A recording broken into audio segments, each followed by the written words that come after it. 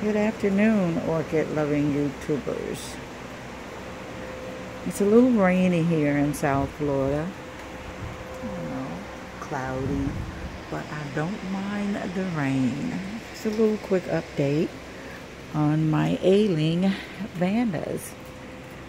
I went into storage, my, my inside closet, my home, and I found an old wardrobe rack that I had tucked away uh, for my visitors when they came. They had to, if they had too many clothes, then I could just pull out this rack and they can hang their clothes on this rack. So I decided to hang my vandas on this rack. And they've been here all week with the with the rains off and on and I see positive results. Just wonderful root tips. And even the vanda that was burnt to a crisp. She's putting out nubbins. I have I see a little nubbins all along the way, so I decided to uh, keep her under. This is I found out this is 70% shade cloth that I got from a friend. He put together his children's play yard and he had leftover shade cloth, so he just gave me the leftover shade cloth for the vandas instead of having instead of having me purchase big rolls of it, which I didn't need. I just needed a small piece and he had extra. Well, he actually volunteered to give it to me. I didn't even have to ask. I was just telling him how bad the vandas are suffering. And a vanda that was burnt to a crisp is putting out a spike. I hope it survives. But all the vandas in here on the wardrobe rack are putting out root, great root tips. And it's raining now. You hear it? It's raining off and on today. So, but I don't mind that. It's lovely. But um, everything in the garden is, is doing well. I have some blooming and oh, the shrubs are blooming.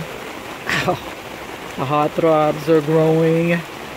I mean, that Vanda is really taking off. But the best thing about my garden now is that I see no death. There is no death. I'm going to repot my desert rose because it has overgrown its pot. It's time. I keep only three, six branches on my desert rose and I keep them cut back. Oh, and my seedlings these are my seedlings to that huge tree there. That's what it's going to look like. Not exactly that, but I'm going to keep it in a pot. But it's, it's a beautiful tree. I love it. And this is its seedlings. I gathered seedlings last weekend.